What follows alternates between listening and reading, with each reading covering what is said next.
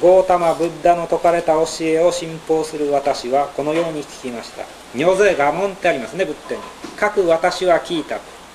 で僕はそれをどう訳したかったかっていうとゴータマ・ブッダのね説かれた教えを信奉して修行している私はこのように聞いたって。ただ聞いたんじゃないんですね。尿税我門って言ったってですね釈尊から直接聞きました。それからその構成になると尿税我門が決まり文句になりまして文切り型になってもう釈尊から聞いたんじゃないけども私はこのように聞いたって経典調べて尿税我門って書いたりってなりましたけれどもそれでも構わないと思うんです。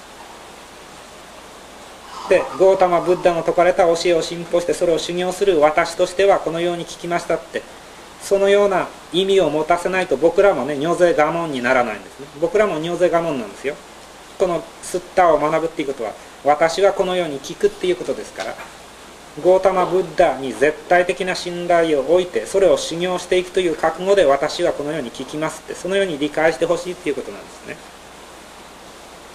ある時各社釈尊は社営上サーバッティの東音六も行動にってこのように東音六も行動って何だっていう時にはですねあのさっき言いましたように僕パーリンゴのいずれ用意してますからそちらで見てあの調べていったらいいでしょうね。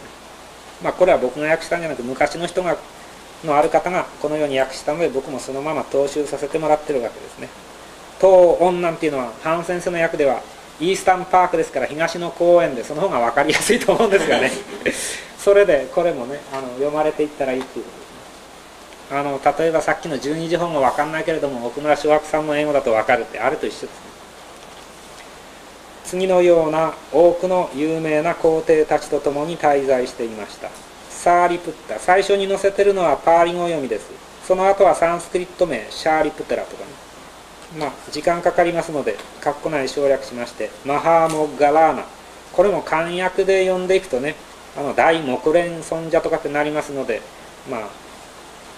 名前聞いてなるほど大木蓮かって思うでしょうが皆さん知らないわけでしょ大木蓮って。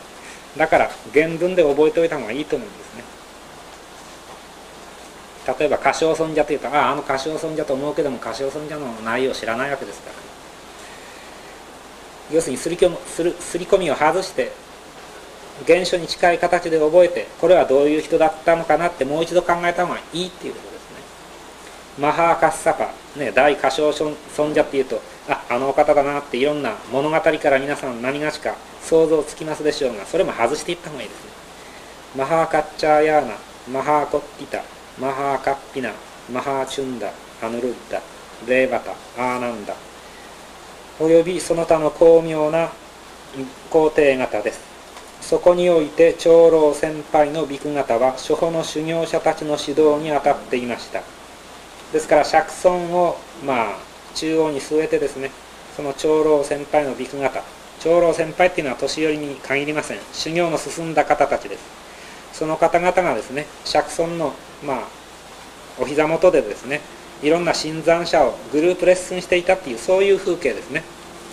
ある長老ビク型は10人の指導をしある長老ビク型は20人の指導をし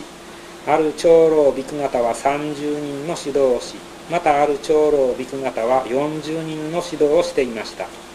このようにして新参の修行者たちは長老ビク型の指導により着実に進歩を遂げつつありました。ですからこの長老ビク型っていうのはね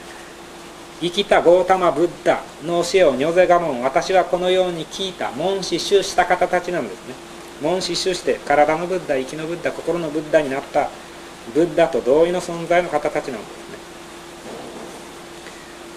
すね。18ページ。ちょうど半月に一度の自制集会である不殺。今回はね中つけるとねややこしくなると思ってね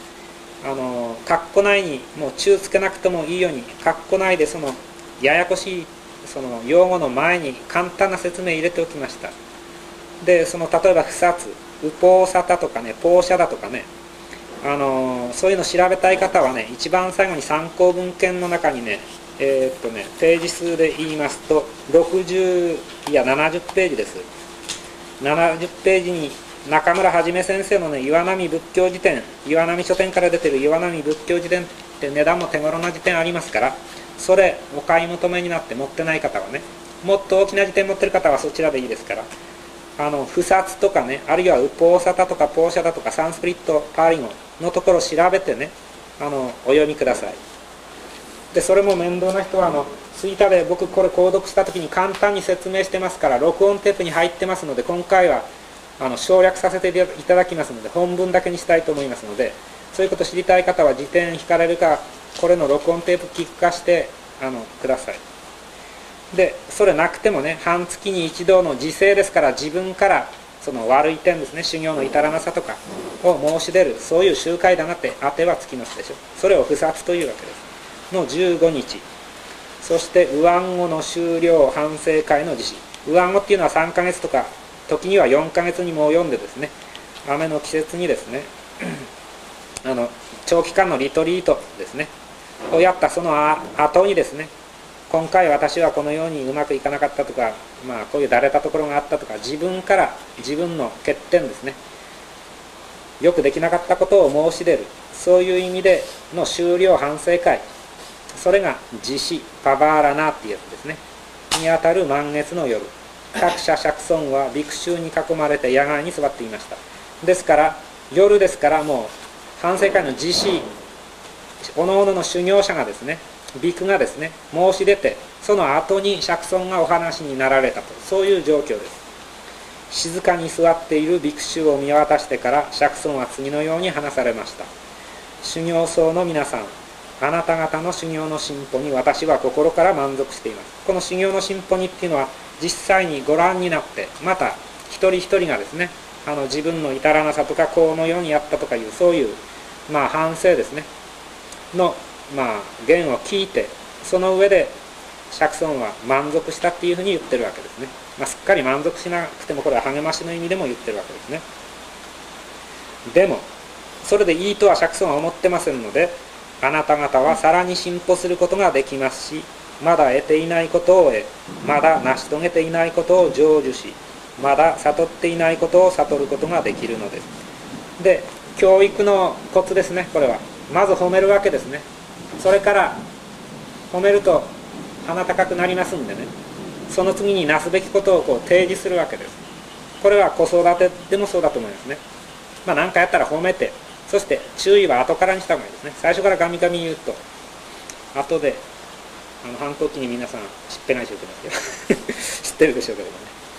ですから私はここサーバッティに暗号の第4ヶ月目にあたるカッティヶ月のコームディコームディって言ったら暗号。3ヶ月 4ヶ月続くそのリトリートのことですね。それの4ヶ月目ですから3ヶ月終わって4ヶ月目に入ってるわけですね。それに入った時のカッティヶ月と呼ばれる月の満月の夜の満月のことなんだなって分かりますね。コームディの満月まで滞在してあなた方の進歩を見守ることにしましょう。普通は3ヶ月なの。今回はですねよしもう1ヶ月伸ばしてみんなをもうちょっと伸ばしてやろうっていうようなことだったんでしょう。そして19ページですね。その地方のビクたちは各社釈尊が暗号の第4ヶ月目のコームディの満月までまあ普通なら3ヶ月ですからさらにもう1ヶ月サーバッティに滞在されると聞き各社釈尊に会う修行するためサーバッティに赴きました。そのこの時の暗号に来ていなかった人もですねそういうニュースを聞いてですねじゃあもう1ヶ月だけでも修行しようと集まってきた人たちがいたということですね。長老先輩のビク型はさらに献身的に初歩の修行者たちの指導を続けるのでした。まあもう1ヶ月続けていったわけですね。あとは一緒です。ある長老ビク型は住人の指導をしっていうのはずっと先ほどと一緒でグループレッスンさらにですねおそらくは同じ長老ビクがね同じ10人同じ20人を指導し続けたものと思われますね。途中で変わらないでさらにその後を続けたんだと思いますね。次の不殺の15日もう1ヶ月したわけです。暗号の第4ヶ月目の公務 D の満月の夜各社釈尊はビクシュに囲まれて野外に座っていました。静かに座っているビクシュを見渡してから釈尊は次のように話されました。修行僧の皆さんこの相談の人々は無益なおしゃべりをしません。でここからのお話でですねどういう人たちが集まってどういうふうに修行されていたのかがはっきりと分かりますね。まあ我々と比べてみたらいいと思います。あるいは皆さんのヨガ関係者の団体とか教師と比べてみたらいいですね。無益なおしゃべりをしません。まあ我々超絶な あれこれしますね。修行僧の皆さん。この相談の人々は無駄なお話をしません。この相談は本当に清らかそのものです。まあ長期間のリトリートやるときはなるべく余計なおしゃべりもしない。まあ3泊4日ぐらいですとあの信仰の場もありますんでいやいやっていうようなこと構わないと思いますがね。3ヶ月やるぞっていう時にはそれは本当に口閉じてやった方がいいと思いますね。修行僧の皆さんこの相談は世の人々からの贈り物親切なもてなし供養尊敬に値するものです。それは多くの利益をもたらす世の無常の福伝肥沃な田畑のようなものです。ですからまあ、皆さんもですね僕らもですねあの修行することによって本当にそのお布施いただけるっていうんですかねそのようになっていったらいいっていうね。まああのお金信者さんからもらって全難全女から集めてですね組織を大きくするとかそういうことじゃなくまあこのような人たちならそのドンネーションしてそのように役に立ててもらったらいいってそのように修行を中心にしてやっていったらいいということですね。まあここに来る前に永遠にさん僕ちょっと見てきましたがその参道の脇にですね石立ってどこそこの何の誰それっていう石がたくさん立ってますよね。まああれはこの何て言うんですね修行僧の姿を見たんじゃなくて自分の名前を出してほしいっていう お互いのですね計らいがあってああいうふうになっていくんでしょうがまあそういうレベルではなくてですねあの本当にこういうところにならそのドンネーションしたならこの人たちなら生きとし生ける者たちに幸せをね微笑みを振りまいていってくれるだろうというようなそういう意味での投資してもらったらその肥沃な田畑ですから投資してもらう種をまいてもらったらすくすくと成長するようなそういう修行生活の自分の十二次法護の在り方あるいは生徒さんともどもの在り方そのようになっていったらいいわけですね。そのような人々の集まりだと釈尊は言ってるわけですね。修行僧の皆さんこの相談はささやかな施しも大となって跳ね返りもし僕らがね福田肥沃な田畑であったなら外の人から種まいてもらったなら成長してね花が咲き実がなって実がたくさんなったならまいた人もそれ食べることできますね。霊的にね。ですから僕らドンネーションもらって例えば僕も皆さんからドンネーションいただいてますがそれで修行道場を作ったり、まあ、これからもうちょっと広げていったりね、まあ、将来的には何がしかミニヨガ村みたいなのを作ってそこに来られて3泊4日とか1週間とかリトリートしてで12時保護のやり方学べるような場を僕らが提供することができるならねちょっとドンネーションしたおかげでそのした人の方がもっと大きな跳ね返りを受けられる多大になって跳ね返る、まあ、そのような修行生活並びに修行生活者のグループを作っていったらいいと思いますね。そのようなものです。そのように僕らもならないといけないですね。修行僧の皆さんこの相談は世において容易には見られないようなそのようなものです。まあこれは本当ですね。まああの大きくなると必ず弊害伴いますのでですからほどほどに小さくての方がいいと思いますね、まあ、例えばサッチダーナンダーシュラムっていうす素晴らしいあのアーシュラムがありますがそこもやはりおそらくはねあの滞在している人がスタッフがどんどん膨れ上がっていっているのであのそこに泊まりに行くとかなり高いですね。ゲストハウスなんかに泊まりますね。ですから大きくなるとやはり商業ベースに乗せなきゃいけないという点もあるわけです。サッチダーナンダ先生の素晴らしいバイブレーションがあるにしてもですね。ですからなるべく小さくまとまった方がいいしそういう意味ではティークナート・ハン先生がねあの解放の今年出て今年から出始めたあの年4回出る解放の第1号にね1415人ぐらいの常住者いわゆる小さなアシュラムをあっちこっち風景のいい田舎に作るべきだっていうようなことを書いておられましたから持ってる方よお読みになってみてください、まあ、読まれた人もいるでしょうけどね。1415人の常住者っていうとそれほど生活を維持するためにお金かからないで済みますね。で来られたら面倒見てあげてまあ、ね、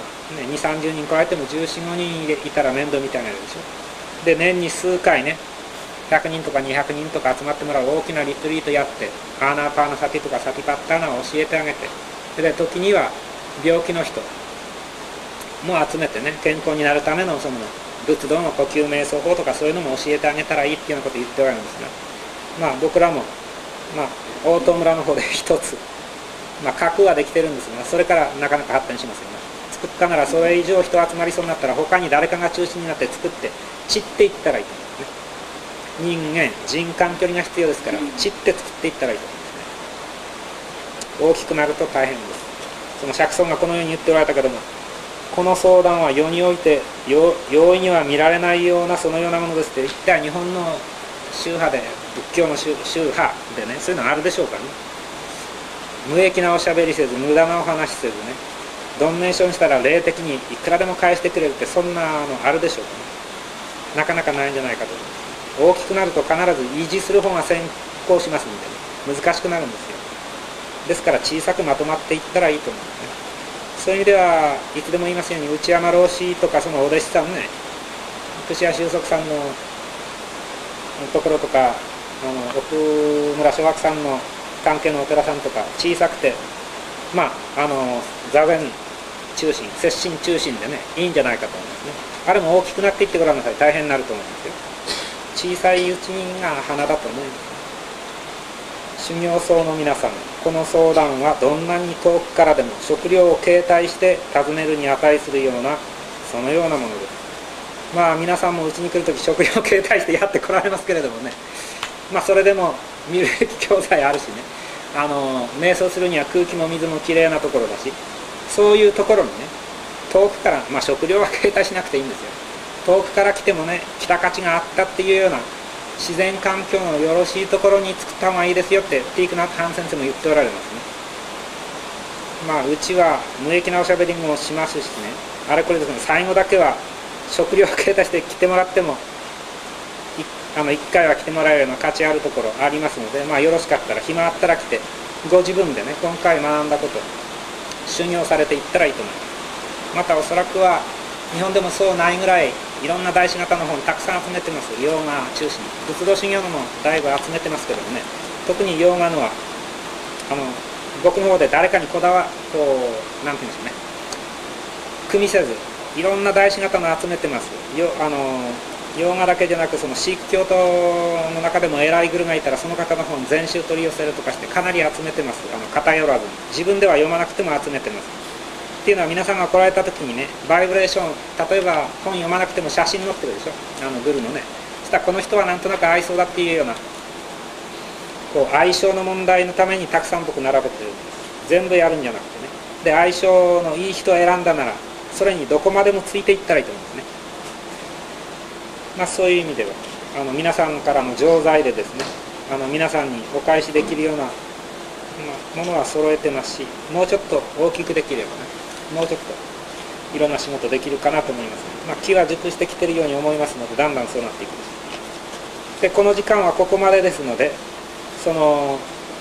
ま、釈尊がですねこれからアーナーパーナサティを教えるにあたっての状況風景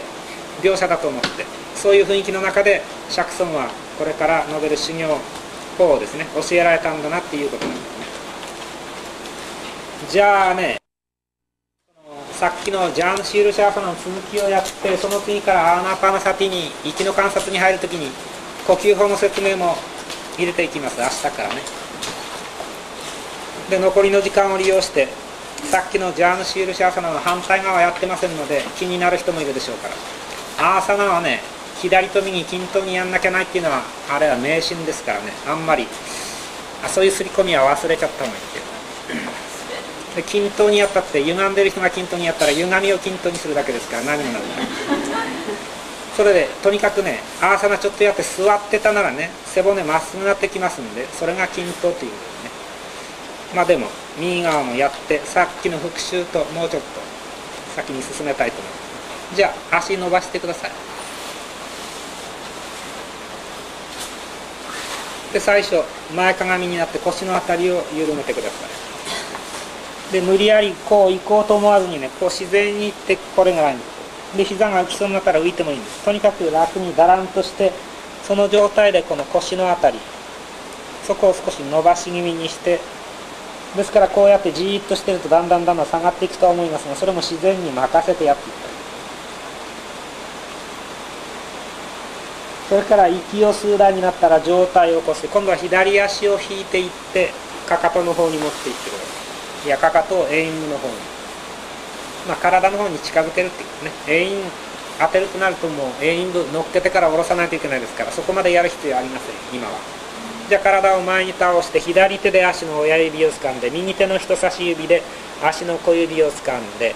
上体の振り付けはせずに息を吸いながら足先を手前に引っ張るのと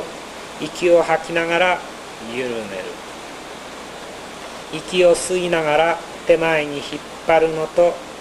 息を吐きながら緩める。もちろんこれ足が伸びない人は膝を曲げてもいいということですね。で次ぐらいから息を吸ったなら顎を軽く上げてみて上体の反り上げを少し入れてみて息を吐きながらごく自然に前に倒れながら足先をちょっと緩めて。息を吸いながらまた軽い気持ちで顎を上げていってそれから背中を少し反らせてみようかなと思って息を吐きながらまた自然に前に倒れていく。繰り返していけばだんだん反り上がるし前にも曲がるようになります息を吸いながら顎を突き上げていってもう少し反ってみようかなと思って次息を吐きながら前に曲がっていく時に手の交差を作りますから右手の人差し指で足の親指を左手をなるべく右足のね右側の方にこう遠くに伸ばしていったらいいです。で前に倒れながら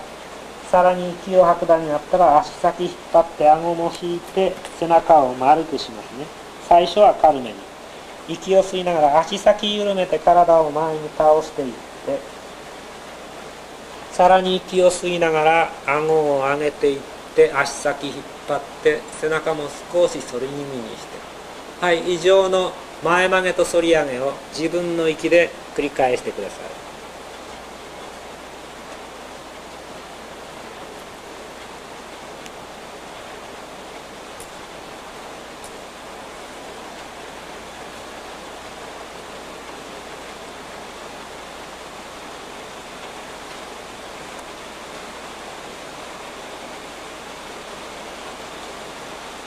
で反り上がったり前曲げ終わった後自然に息が止まるような方はその姿勢を少し保持しておいたらよろしいです。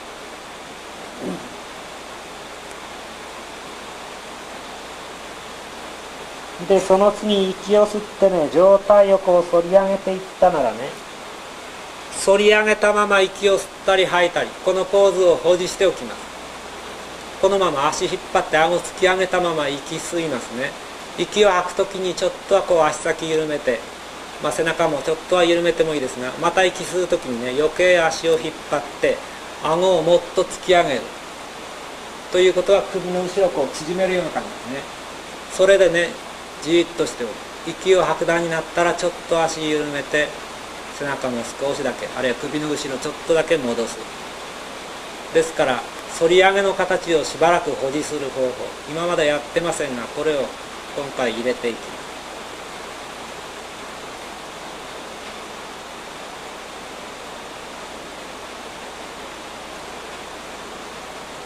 でその次息を吐く段になったら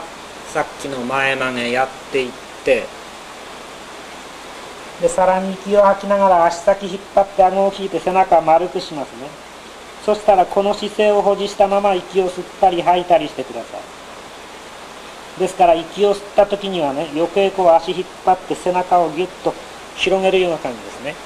で息を吐く時には足先をちょっと緩めて背中もこうちょっとリラックスさせる。また息吸う時にはギュッと引っ張って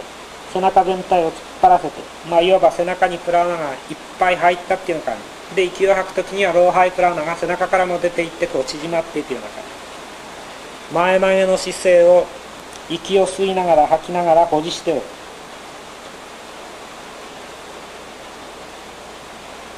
でその次息を吸う段になったら足先緩めて体を前に倒して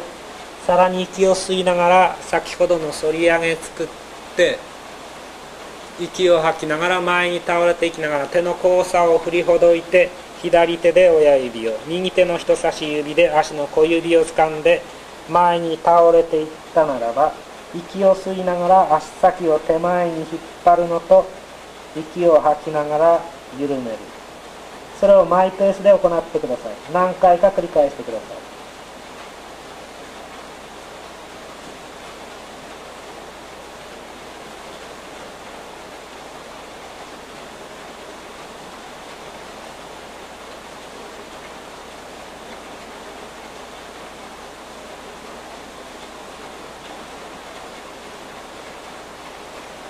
でこれやっていくとだんだん深まっていく人は肘を開いていってね。開くと体が前に進んでいきますでしょ。その状態でね。顎。額じゃなく顎をつけてこうせり出した状態でね息を吸ってぎゅーっと引っ張ると余計ここが進展してまあちょっと辛いですがね。で息を吐きながら緩める。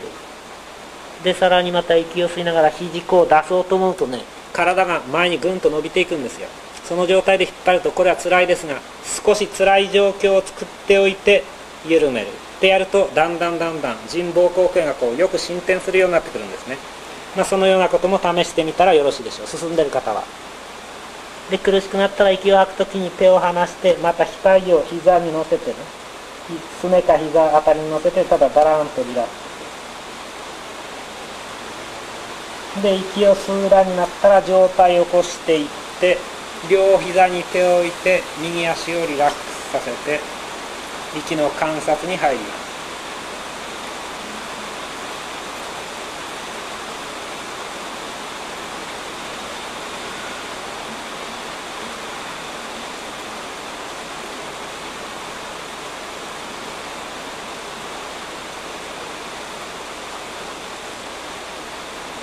この状態の息の観察でも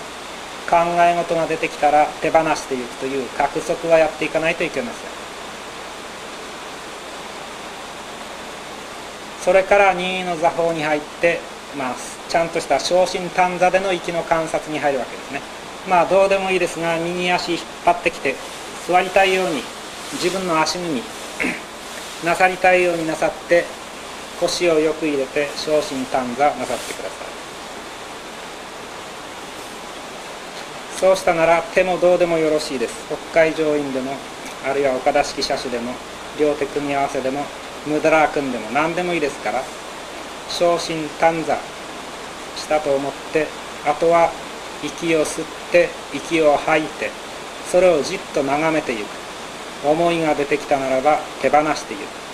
ただそれだけを行ってください。じゃあ鐘の音を入れますからそれを聞き終わったなら息の観察に入っていってです。ね雨の音で聞こえにくかったですか？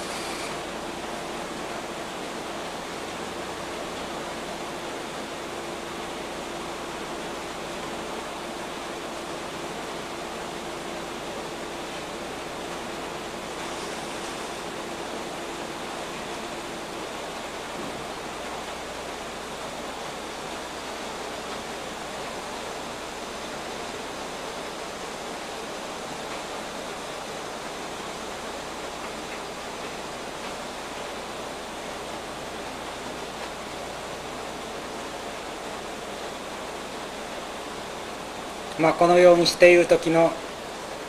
息の仕方とか思いの手放し方とかそれは明日からの講習で詳しくやっていきたいと思いますので今日はですねとにかく十二時法語というものを作ってそれに従って修行していけばいいということとその修行の内容ですねはアーナーパーナサティを中心に据えていったらどこにでも行けるしアーナーパーナサティをどこまでも続けることもできると、まあ、その2点ですのでそれだけでもしっかり覚えておいてください。では次息を吐く段になったならば腰背中首頭の力抜いてだらんとリラックスして、まあ、足伸ばしたい方は伸ばして頼みませんまだ足痛くなってないと思いますけれども。で息を吸う段になったら上体を起こして目をお開けください。じゃあ時間が来てると思いますのでこの時間帯はここまでにしておきます。どうもありがとう。